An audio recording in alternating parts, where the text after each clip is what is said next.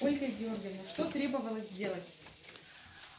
Ну, была мечта переделать старую печь, то есть ее вообще полностью ликвидировали, и э, она, ну, в принципе, она отслужила свой срок.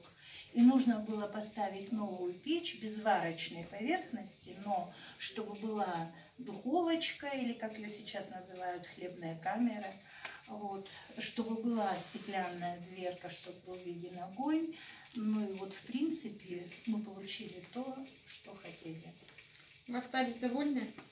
Безусловно. Это, это одно из лучших приобретений моих за последнее время. Печной мир справился с задачей? Да, конечно, к печному миру у меня нет абсолютно никаких претензий. Более того, я очень довольна работой всей команды печного мира проектировщиков, и мастеров, которые клали, и менеджера, и руководителя компании, и бригадира. В общем, все команды сработали на отлично.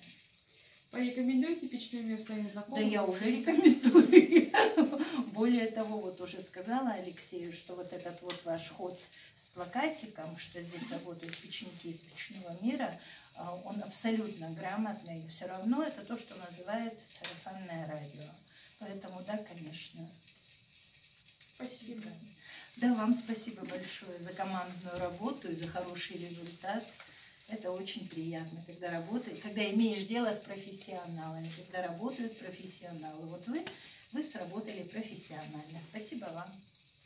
Вам спасибо, что обратились к нам. Так что вот так. Слушайте, ну здесь же шкварчит реально уже все.